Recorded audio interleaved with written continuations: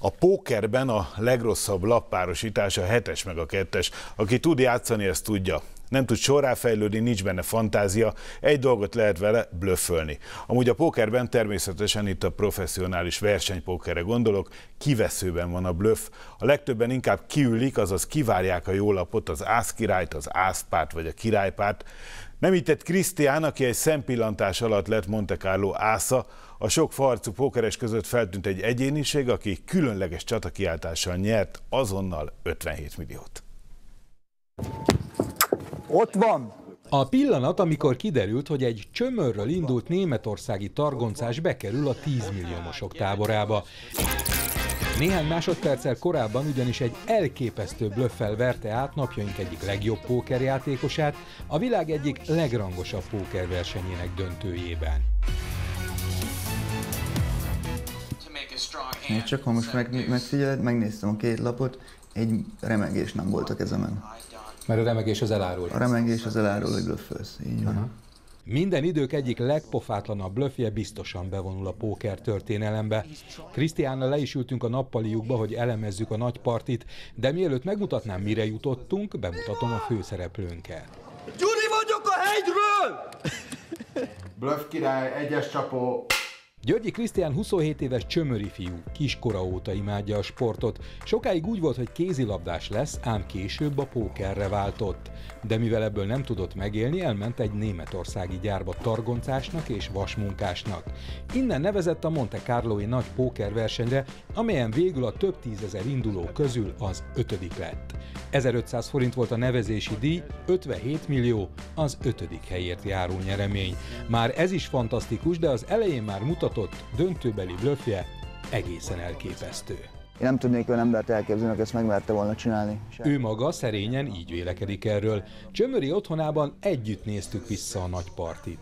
Én visszaemeltem egy háromszorost. De miért emeltél háromszoros amikor nem volt semmi a kezedben? Hát volt két szép lapom. Hetes, kettes. Az ellenfélnek viszont ásza és királya volt.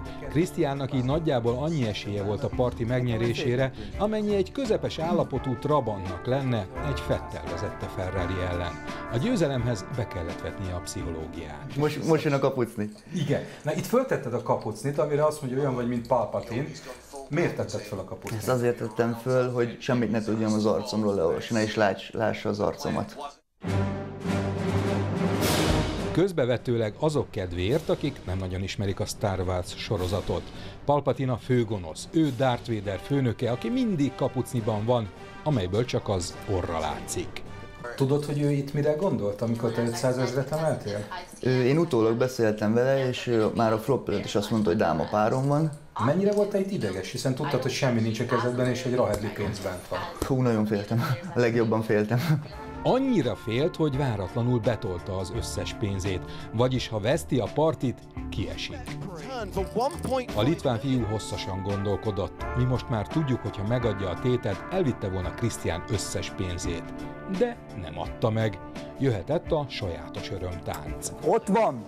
Mennyivel nyert az a srác eddig életében szerinted többet, mint a pénzből? Hú, ez nem egy 20 millió dollár biztos van közöttünk. 20 millió dollár? Igen. És utána nem haragudott rád? Nem mondta, hogy elmész a francba?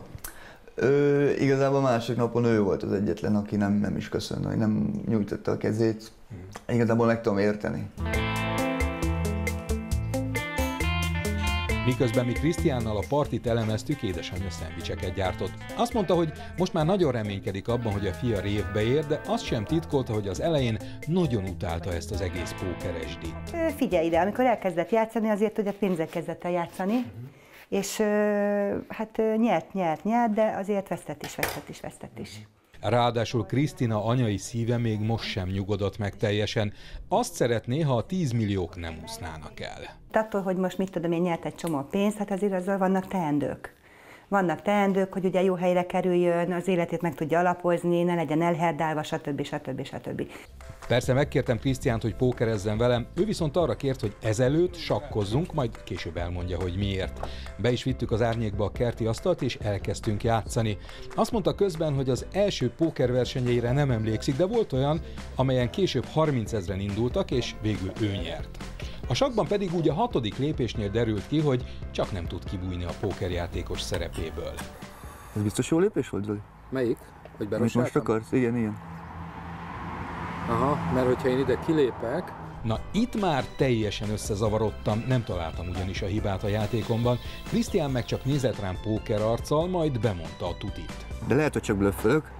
Bejött neki, teljesen elbizonytalanított. Ez volt a célja, egy kicsit megzavartalak, ugye? Itt mondta el Krisztián, hogy azért ültetett le sakkozni, hogy láttassa, nem szerencsejáték a póker. Ahogyan a sakban, véli ő, a kártyában is kell emberismeret, önismeret, pedagógia, pszichológia és természetesen kommunikáció.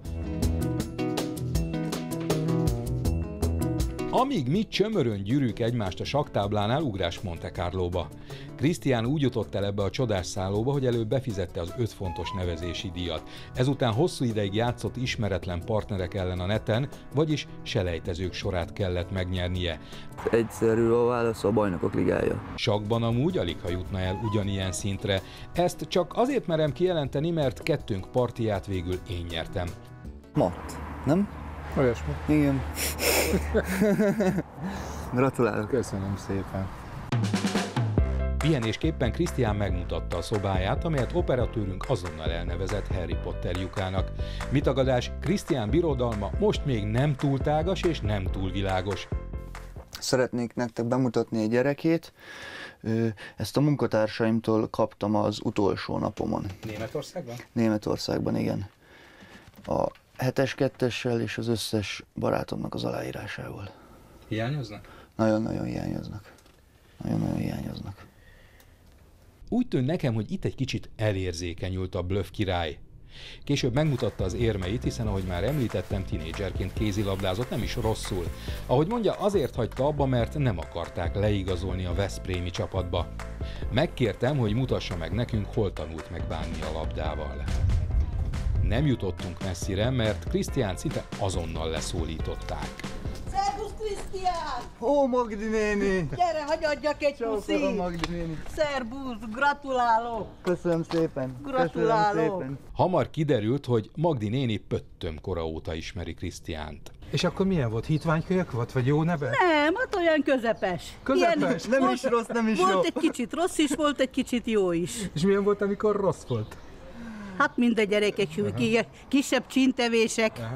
Úgyhogy És mit tetszik szólni hozzá, hogy ilyen híres lett? hát nagyon örülünk neki, hogy itt teljesen minden, fú, mindenki fel van bojdulva az egész falu. Amúgy nem lepődtem meg, hogy rögtön megállították az utcán a fiút. A forgatás előtti napon ugyanis kimentem hozzá terepszemlézni, és akkor bementünk a hajdani iskolájába is. A tornateremben azonnal megrohanták a lányok autógramért. Azt is megtudtam ezután, hogy nem csak a diáklányok keresik mostanában a társaságát. Ő viszont egy kicsit tart a nőktől, mert attól fél, hogy nem is őt keresik igazából, hanem az 57 millió forintot. Krisztián itt a Csömöri Általános Iskola sportudvarán tanulta meg a kézilabdázást, meg a többi labdajátékot. Most arra kért, hogy egy-egyezzek vele. 21 évvel vagyok idősebb nála, és kb. ennyi ideje nem volt a kezemben kosárlabda, de a kihívás az kihívás, kötélnek álltam. Az első támadásból nem született kosár, jöhettem én. Püff neki. A labda beragadt a palánk és a gyűrű közé. Na, ilyet sem dobtam még életemben. Még az a szerencse, hogy ott volt a mikrofonunk, amelynek rúdját, mintha csak labda szabadításra találták volna ki. Kosár jó, mehettünk beszélgetni. A kérdés persze adott. Hogy érzi magát egy csömöri sportpályán felnőtt gyerek Monte Carlóban a milliómosok között? Szóval mindenki úgy hívott, hogy az utca gyerek, hogy én az utcára jöttem, senki nem ismert, nem volt semmi előzményem. Persze gondoskodott is róla, hogy az utcagyerek design ne kopjon le. Szeretlek anyukám, szeretlek!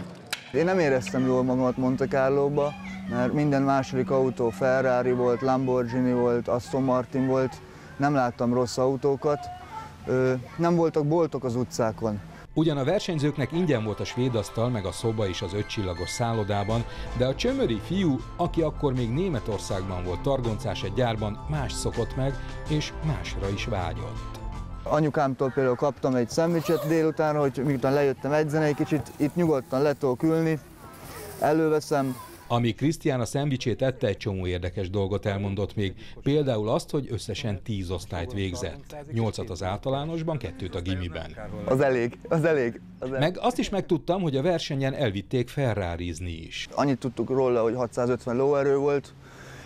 Igazából be voltam Meg azt is, hogy amikor talált végre Monte Carlo-ban egy gyors éttermet, akkor sem ehetett nyugodtan. Aztán elkezdtem menni a két sajburgeremet, és egyből lőtt két lány, hogy téged láttunk a tévébe.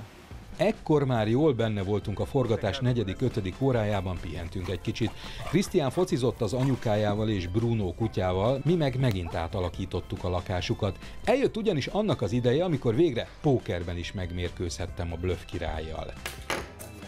Persze nem pénzben, hanem kavicsokban, hiszen Krisztián előző nap már Svábit is megfenyegette. Svábi András, ha holnap eljössz, elnyerem az összes pénzedet. Ezért döntöttem úgy, hogy jobb nekem a kavics a készpénznél, és mint később kiderült, jól döntöttem. De addig még lejátszottunk vagy 15 partit. No, persze beszélgettünk is közben, például megkérdeztem, hogy miért nem volt rajta a verseny közben a szemet eltakaró napszemüveg. Képzeljétek el, ez egy érdekes történet, otthon felejtettem az, az asztalon. A világ legnagyobb versenyére elfejtesz napszemüveget vinni? Sajnos ez történt, igen. Ezután tényleg elkezdődött a parti. Az 57 milliót nyert Bluff király az ultizni tudó, de pókerben erőteljesen kezdő riporter ellen.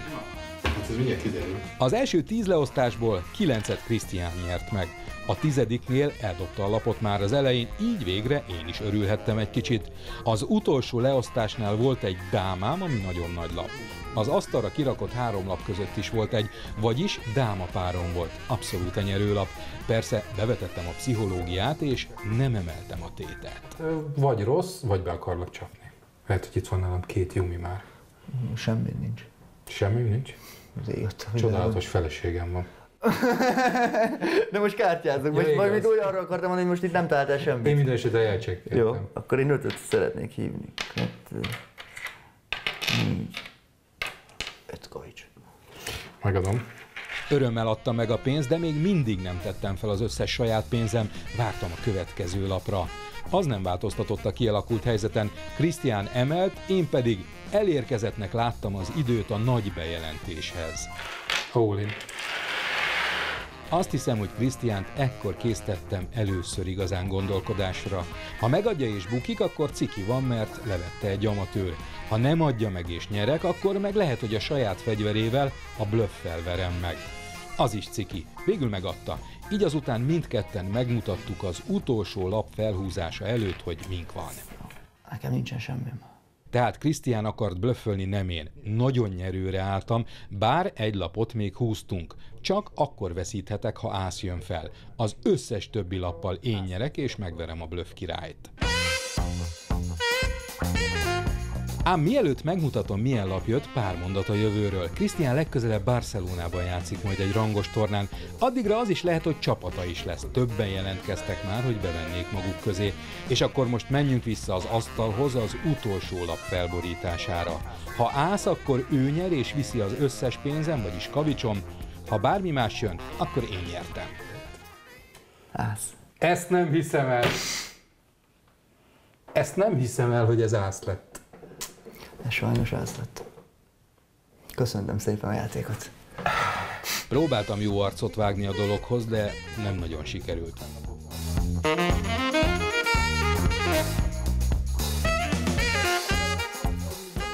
Nehéz így megszólalni, hiszen egyetlen egy lappal nyerhetett Krisztián, az ásszal, és az bejött neki ötödikre. Én nem tudom, hogy ez szakma-e, szerencse vagy megérzése, de egy biztos.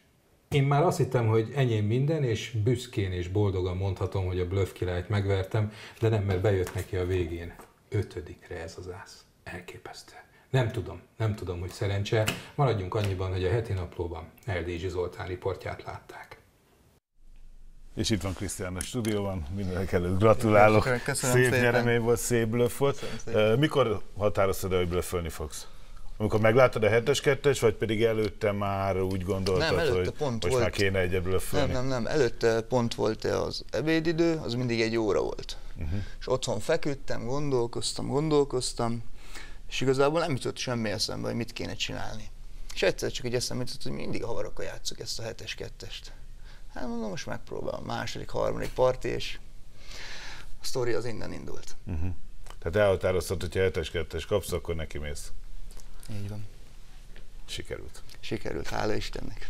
Gratulálok. Hoztam magad egy kártyát, egy kicsit megkeverem, játszunk egy nyílt partit, Egy jó? nyílt partit. Kíváncsi vagyok. Én is szoktam különben pókerezni, szeretek pókerezni. Különben én is szeretem a 7-es 2-est. Az egy, Igen? Az, igen, nagyon rossz lap, és, és pont, Pont ezért jó, Pont, pont ezért pont, jó. pont az, azért lát benne az ember időkét fantáziát. Elemeled, vagy osztasz, Osztok. Nézzük, Karcsika itt figyeli. Karcsika nem zavar bennünket? Nem, Nem zavar, Nézzük nem meg. zavar. Nézzük meg egy ilyen nyitott partinál. Aha, egyből kapta egy Egyből ászt, én egy hatos, meg egy... Hú, meg egy kilenc. Ja, hát így nem ér. Így nem ér. Pedig megkevertük. a- Na nézzük meg, hogy hát a hatos tízessel, ami szintén egy nagyon gyenge. Ász. Nyolc. 6, 7, 8. 9. 9-esre sorom van, igen. 9-es ez És nézzük meg, hogy te hoztasz hát, aki az még egy Hetes. az semmire nem jó nekem, az a ászpárod az megvan. Most jön a Megint a kilenc. 9-es? Nem. Nem jött meg. Hát egy partiba levertél engem. Mik a terveid, Krisztián? Majd mindjárt sokat fogunk beszélgetni a Facebook Live-ban, de most még van pár percünk. Vége a Vasi Melónak? Nem mész vissza Németországba? Nem megyek vissza. Hazaköltöztem, még egy kicsit vissza kell, hogy menjek, mert a papírjaimat nem tudtam uh-huh. elintézni. Az majd, ja, az még egy két hét, és utána hazaköltözök. Most szeretnék lakást venni. Ebből a pénzből lehet is? Hát ebből a pénzből lehet, hála Istennek, jogosítvány megcsinálni. Tehát nem, nem fogod elherdálni a pénzt? Nem, nem, Ígérd nem. meg, hogy nem fogod nem, nem, nem, semmiképpen. Nem fogsz negatívba menni. Nem, nem, nem, nem, nem. Egy kicsit még muszáj próbálkozni. Aha. De Nem is ez az életcélod, hogy professzionális pókeres legyél, vagy, vagy majd meglátod? én szeretnék mostantól csak ezzel foglalkozni. Aha. Ugye elhangzott a, többször is mutattuk ezt a Gyuri a hegyről csata kiáltásodat. Ez, te, te, aki Krisztián vagy, miért vagy Gyuri a hegyről? Ezt nagyon sokan nem ismerik, de akik itt szoktak egy kicsit Budapesten pókerezni, van egy arc, akit én mindig látok. Mindig, minden versenyen ott van, És és, szokta ezt mondani? és ő szokott, amikor nyer valamit, fölögrök, és azt mondja, hogy Gyuri vagyok a Blaháról. Ja, és akkor innen vetted át, és ezért És innen vettem át, igen. Nem szóltak rád különben, hogy, hogy, hogy ez egy komoly dolog ez a verseny, és itt nem kell üvöltözni, meg csatakiáltásokat hangos üvölteni, és, és bele, berohanni a kamerába, és mamát üdvözölni? Hát most figyelj, igazából minden nap, Nekem tize- bejön, nekem tetszik, csak nem tudom, mit szólnak hozzá a szervezők. minden nap 12 órákat játszottunk, hát most csak egy-két ronásom volt, az most belefér szerintem. De nem szóltak rád. Nem, nem, nem. A mamára Lehet, való... hogy ők is örültek neki, mert ennyivel színesedik ez a verseny. Így van, a mamáról való üdvözlettel egyet még el szeretnék mondani, egy nagyon jó sztorim.